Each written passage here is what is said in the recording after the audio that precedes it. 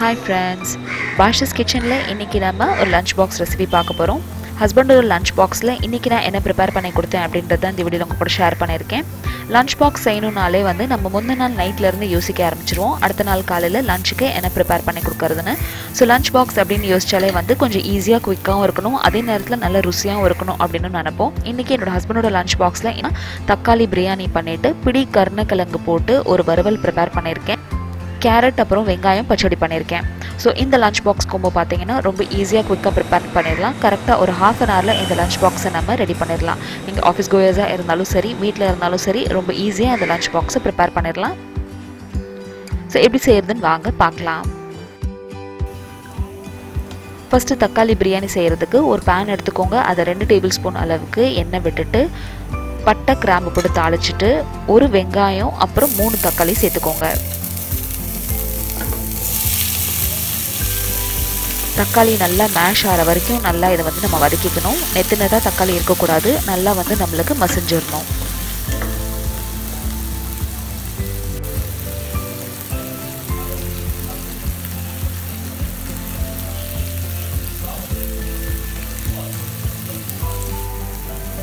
தக்காளி இந்தளவு வதங்கினதுக்கு அப்புறமா எடுத்து வச்சிருக்க கொத்தமல்லி அப்புறம் புதினா இலையை சேர்த்துட்டு எல்லாத்தையும் நல்லா கலக்கி விட்டுக்கோங்க.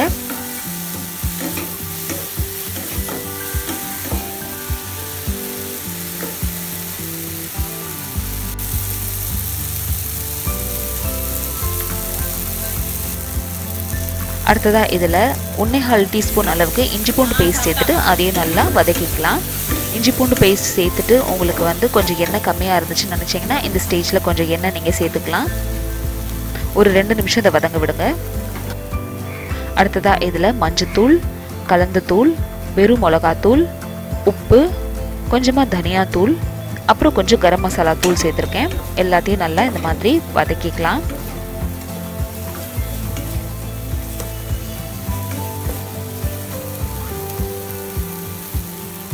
இப்போ அரை கிளாஸ் தண்ணி விட்டுட்டு இந்த மசாலா எல்லாத்தையும் வந்து வேக விடலாம்.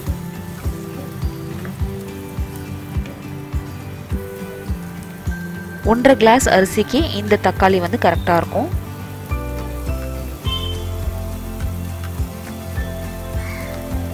லிட் க்ளோஸ் பண்ணி ஒரு அஞ்சு நிமிஷம் கொதிக்க விடுங்க. இது கொதிச்சுட்டு இருக்க டைமில் சாப்பாடை வடித்து அப்படி இல்லைன்னா வேக வச்சு எடுத்துக்கோங்க. இங்கே குக்கரில் செய்கிறதா இருந்துச்சுனாலும் சாப்பாடை நல்லா வ வேக வச்சுட்டு ஒரு பிளேட்டில் போட்டு ஆற வச்சுருங்க. ஒரு அஞ்சுலேருந்து ஏழு நிமிஷத்துக்கு அப்புறம் பார்த்தீங்கன்னா தண்ணி சுண்டி நல்லா இந்த மாதிரி ஆயிடணும் வெறும் கிரேவி தான் வந்து நம்மளுக்கு இருக்கணும். நல்லா எண்ணெய் பிரிஞ்சு வெளியே வந்துருச்சு பாருங்கள் இந்த ஸ்டேஜில் நம்ம வடித்து எடுத்து வச்சுருக்க சாப்பாடை சேர்த்துருங்க.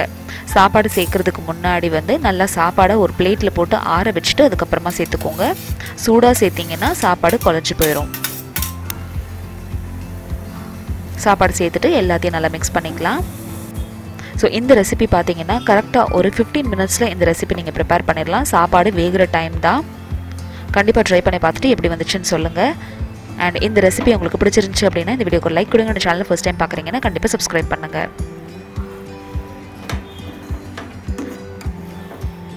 எல்லாத்தையும் நல்லா கிளறி விட்டுட்டு இந்த ஸ்டேஜில் நீங்கள் உப்பு காரம் செக் பண்ணிக்கலாம். எனக்கு கொஞ்சம் உப்பு கம்மியாக இருந்துச்சுன்றதுனால எல்லாத்தையும் நல்லா கிளறி விடுறதுக்கு முன்னாடி கொஞ்சமாக உப்பு சேர்த்துக்கிட்டேன். இந்த ஸ்டேஜில் ஒன்று டேபிள் ஸ்பூன் அளவுக்கு நெய் சேர்த்துக்கோங்க. கொத்தமல்லி புதினா சேர்த்துட்டு லிட் க்ளோஸ் பண்ணி ஒரு அஞ்சு நிமிஷத்துக்கு வச்சுருங்க. அஞ்சு நிமிஷத்துக்கு அப்புறம் ஃப்ளேம் ஆஃப் பண்ணிடுங்க இந்த சூட்டில் ஒரு பத்து நிமிஷம் அப்படியே இருக்கட்டும். இப்போ இதுக்கு ஒரு சைட் டிஷ் ப்ரிப்பேர் பண்ணுறதுக்கு நான் இன்றைக்கி பிடி கருணக்கிழங்கு எடுத்திருக்கேன். இதுக்கு நீங்கள் எந்த கிழங்குனாலும் எடுத்துக்கலாம். பிடி கருணக்கிழங்கு இந்த மாதிரி தான் இருக்கும் பார்க்குறதுக்கு ஸோ இதை வந்து நீங்கள் ஸ்கின் பீல் பண்ணுறதுக்கு முன்னாடி கையில் நல்லெண்ணெய் அப்படி இல்லைன்னா தேங்காய் எண்ணெய் தேய்ச்சிட்டு இந்த ஸ்கின்னை வந்து இந்த மாதிரி எடுத்துக்கோங்க.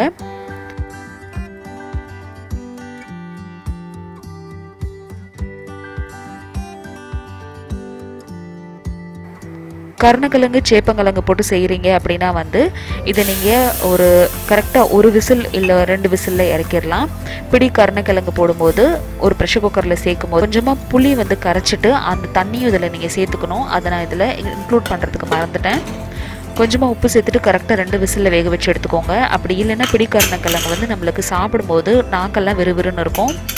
அப்படி இல்லைன்னா வேக வச்சு எடுத்ததுக்கப்புறமாவும் புளித்தண்ணியில் ஒரு பத்து நிமிஷம் ஊற வச்சிங்கன்னா போதும். கரெக்டாக ரெண்டு விசிலுக்கு மேலே வேக விடாதீங்க. ரொம்ப அப்புறம் மசிஞ்சிரும். இந்த ஸ்டேஜில் கொஞ்சமாக புளித்தண்ணி சேர்த்துட்டு ஒரு பத்து நிமிஷத்துக்கு அப்படியே விட்டுருங்க. பத்து நிமிஷத்துக்கு அப்புறமா இந்த மாதிரி ஃபில்டர் பண்ணி எடுத்துக்கோங்க.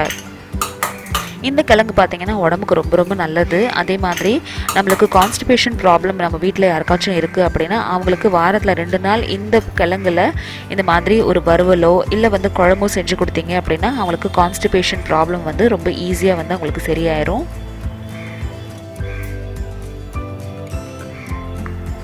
இப்போ இதை நான் ரவுண்ட் ரவுண்டாக இந்த மாதிரி கட் பண்ணி எடுத்துக்கிறேன். இந்த கிழங்கு பார்த்தீங்கன்னா நீங்கள் யூஸ்வலாக செய்கிற கிழங்கோட கொஞ்சம் டிஃப்ரெண்ட்டாக செய்யணும். பாக்கி இப்போ நீங்கள் சேனக்கிழங்கு இல்லை சேப்பங்கிழங்கு செஞ்சீங்கன்னா நீங்கள் அப்படியே வேக வச்சு எடுத்துக்கலாம். இந்த பிடி கருணக்கிழங்கை மட்டும் வேக வச்சதுக்கப்புறமாவோ இல்லை வேக வைக்கும் போதும் கொஞ்சம் புளி தண்ணியில் போட்டு இதை வந்து நீங்கள் வேக வைக்கணும்.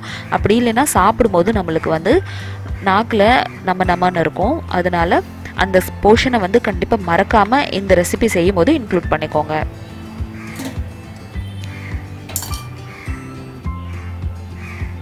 இந்த வறுவல் செய்கிறதுக்கு தேவையான வெங்காயம் காஞ்ச வத்தல் கருவேப்பிலெல்லாம் எடுத்து வச்சுக்கோங்க. இது வேக வச்சே நம்ம எடுத்துருக்கோம் அப்படின்றதுனால இந்த ரெசிபியும் ஒரு பத்து நிமிஷத்தில் நம்ம ப்ரிப்பேர் பண்ணிடலாம். ஒரு பேனில் கொஞ்சமாக நல்லெண்ணெய் விட்டுட்டு சோம்பு போட்டு தாளிச்சுக்கோங்க. சோம்பு தாளிச்சதுக்கப்புறமா ஒரு வெங்காயத்தை அந்த மாதிரி சேர்த்துட்டு வதக்கிக்கலாம்.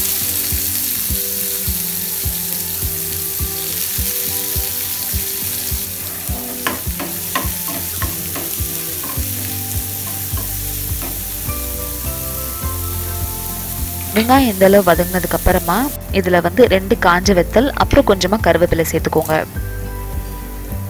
கடைசியாக இறக்கும் போது இதுக்கு நீங்கள் தேங்காயும் சேர்த்துக்கலாம். ஆனால் இந்த கிழங்கு வந்து நல்லா நீங்கள் சாட் பண்ணி எடுத்தீங்கனாலே இதுக்கு தேங்காய் சேர்க்க வேண்டிய அவசியம் இருக்காது. அப்படியே நல்லா டேஸ்டியாக இருக்கும்.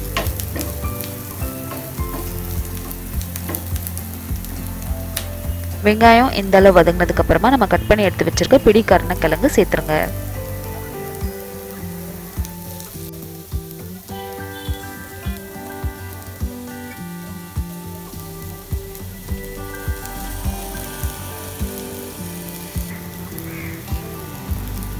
அடுத்து மசாலாவில் கொஞ்சமாக மஞ்சத்தூள் வெறும் மிளகாத்தூள் அப்புறம் உப்பு சேர்த்துக்கோங்க. கிழங்கு வேக வைக்கும் போது நான் கொஞ்சமாக உப்பு சேர்த்துக்கிட்டேன். இருந்தாலும் இப்போ கொஞ்சம் உப்பு சேர்த்துக்கிறேன். அப்புறம் கொஞ்சம் கலந்த தூள் சேர்த்துக்கிறேன். கலந்த தூள் இல்லைன்னா கொஞ்சமாக தனியாத்தூள் சேர்த்துக்கோங்க. தேவையான அளவு எண்ணெய் விட்டுட்டு எல்லாத்தையும் நல்லா மிக்ஸ் பண்ணிக்கோங்க.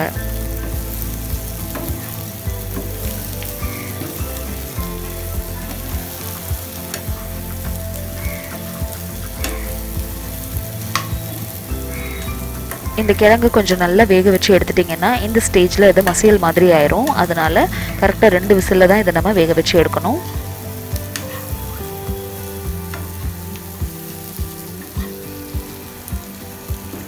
இப்போ மீடியம் டு ஹை ஃப்ளேமில் வச்சு இதை வந்து கொஞ்சம் நல்லா எண்ணெய் ஊற்றி நல்லா வறுத்து எடுத்துக்க போகிறோம் அந்த மாதிரி செஞ்சால் தான் நல்லா நம்மளுக்கு கிறிஸ்பியாகவும் இருக்கும் நல்லா டேஸ்டியாகவும் இந்த கிழங்கு வந்து நம்மளுக்கு இருக்கும்.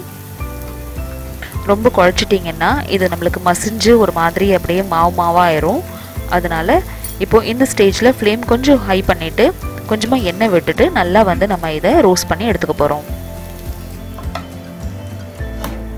ஒரு நாலுலேருந்து அஞ்சு நிமிஷத்துக்கு ஃபஸ்ட்டு இதை வேக வச்சு இந்த மசாலாவோட மிங்கிள் பண்ண விடுங்க. ஒரு நாலுலேருந்து அஞ்சு நிமிஷத்துக்கு அப்புறமா லிட் ஓப்பன் பண்ணி வச்சு ஹை ஃப்ளேமில் நல்லா வந்து இதை வறுத்துக்கலாம்.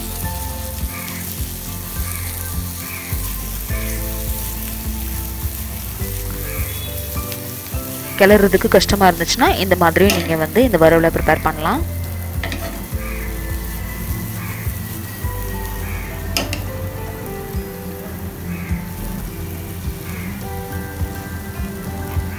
இந்த ரெண்டு ரெசிபியும் லஞ்ச் பாக்ஸில் ரொம்ப ஈஸியாக ப்ரிப்பேர் பண்ணக்கூடியது. கண்டிப்பாக ட்ரை பண்ணி பார்த்துட்டு எப்படி வந்துச்சு அப்படின்றத எனக்கு கமெண்ட் செக்ஷனில் சொல்லுங்கள் லஞ்ச் பாக்ஸ் கோவில் நீங்கள் என்ன ஐடியா பண்ணி இந்த மாதிரியான டிஃப்ரெண்ட்டான ரெசிபி ப்ரிப்பேர் பண்ணுவீங்க அப்படின்றது எனக்கு கமெண்ட் செக்ஷனில் கண்டிப்பாக சொல்லுங்கள் நம்ம சேனலில் ஏற்கனவே நிறைய லஞ்ச் பாக்ஸ் ரெசிபிஸ் இருக்குது வேணுன்றவங்க இந்த வீடியோக்கு கடைசியில் வர லிங்க் அப்படி இல்லைன்னா இந்த வீடியோக்கு கீழே இருக்கிற டிஸ்கிரிப்ஷன் பாக்ஸை கிளிக் பண்ணிக்கலாம். ஒரு அஞ்சு நிமிஷம் நல்லா வறுத்தெடுத்ததுக்கப்புறமா ஃப்ளேம் ஆஃப் பண்ணிடுங்க இப்போ ராயத்தாக்கு தேவையான வெங்காயம் அப்புறம் கேரட் இந்த மாதிரி நான் துருவி எடுத்துக்கிறேன்.